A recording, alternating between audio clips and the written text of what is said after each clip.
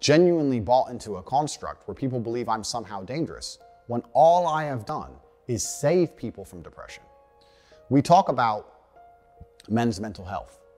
We Paddy Pimblett just fought and talk about if you if you have trouble with men's mental health, come forward. As I said, women talk to each other. They, there's no stigma on women. They sit around and have a cup of tea and have a jangle. True that. Men, men don't, lad. Men feel like, oh, I can't go and say that to him because he'll think I'm a little, little mushroom. You know what I mean? That's what men think. But as I said in the cage, I'd much rather my friend come to me and speak to me and cry on my shoulder than me have to cry when I'm carrying his coffin a week later.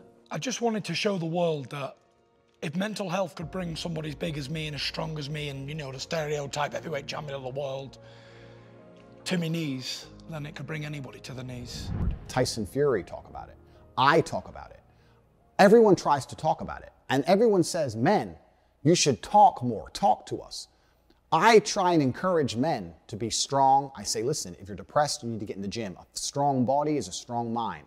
I sit there and by using my lifestyle, which is an aspirational lifestyle that most men would love to have, purely because of the finance, the cars, the freedom, etc., I encourage people to work hard and try their best to become the best version of themselves.